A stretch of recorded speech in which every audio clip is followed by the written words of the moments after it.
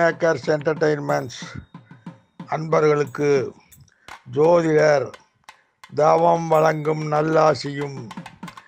ஆங்கில புத்தாண்டான ரெண்டாயிரத்தி பத்தொம்போதாம் ஆண்டின் நல்வாழ்த்துக்களையும் ஒரு சேர உங்களுக்கு முதற்கண் அளிக்கின்றேன்.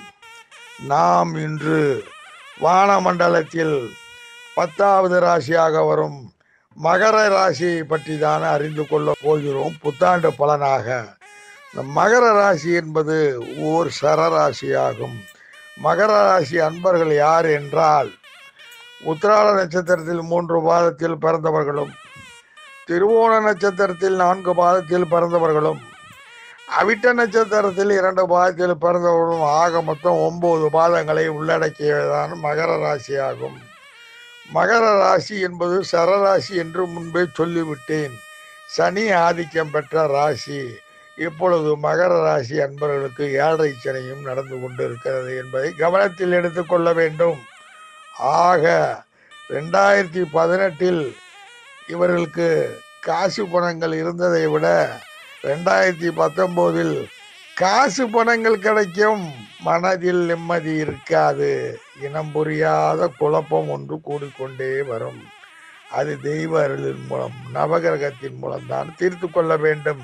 அதுதான் இவர்களுக்கு மருந்து அதுதான் இவர்களுக்கு டானிக்கு இவர்களுக்கு ஜனன காலத்தில் என்று ஊர் ஜாதக அம்சம் உள்ளது அவர்களுக்கு என்று பிறந்த நட்சத்திரம் அதில் ஊர் லக்னம் அதில் ஒரு ராசி அதில் ஒரு திசாபுத்தி உள்ளடக்கிய பகுதி இருக்கும். அதன்படிதான் வாழ்க்கை பாதை இவர்களுக்கு கிடக்கும். இவர்களுக்கு வரவும் வரும் செலவும் வரும். ஆக வரவுக்கும் பஞ்சம் இருக்காது செலவுக்கும் பஞ்சம் இருக்காது. இவர்களுக்கு பொதுவாக பூமி பொருள் சேர்க்கையோ ஜீவராசிகள் மேன்மையோ குடும்பத்தார்கள் உள்ள உயர்வுகளோ உற்றார் உறவினர்களின் பக்கபலங்களோ உற்ற நண்பர்களின் ஆதரவுகளோ அரசு அனுகூலங்களோ அயல் நாட்டு பாக்கியங்களோ அதற்கு அடுத்து ஜீவராசி மேன்மைகளோ வண்டி வாகனங்கள் அபிவிருத்திகளோ இல்லத்தில் சுபகாரியங்களோ இதெல்லாம் ஒரு பக்கம் நடப்பதற்கு வழி உண்டு. ஆக இவர்களுக்கு செல்வம் வந்தால் ஆங்கிலத்தில் ஓர் பழமொழி சொல்வார்கள் மணி மேக்ஸ் மெனி திங்ஸ் என்று. ஆக பணத்தை கொண்டு எல்லாவற்றையும் சாதித்து விடலாம் என்பது ஓர் முதுமொழி. அதன் மூலியமாக அனைத்தையும் பெற்றுவிடலாம் என்பது பலருக்கும் சிலருக்கும் தெரியும். இருந்தாலும் இவர்கள் தங்களை தாங்களே ஏமாற்றி கொள்ளக்கூடாது. சிலரை சில காலம் ஏமாற்றலாம் பலரை பல காலம் ஏமாற்றலாம் ஏக காலத்தில் எல்லோரையும் ஏமாற்ற முடியாது என்ற முதுமொழியை மனதில் பதிய வைத்து கொள்ள வேண்டும். ஆக இவர்களுக்கு இதே வந்து நம்ம நம்மளிடத்தில் செல்வங்கள் வந்து சேருகின்றன தனபாக்கியங்கள் வருகின்றன என்று அடாபடியாக நினைத்து கொண்டு எடுத்தேன் கவிழ்த்தேன் என்று போனால் வாழ்க்கை பாதை சிறப்பாக இருக்காது என்பதை மனதில் நன்கு பதிய வைத்து கொள்ள வேண்டும்.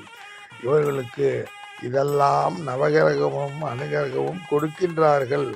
கொடுப்பதை இவர்கள் மன மகிழ்ச்சியுடன் திருவரின் அருளை பெற்று இவர்கள் வாழ்க்கை பாதையை கடக்க வேண்டும்.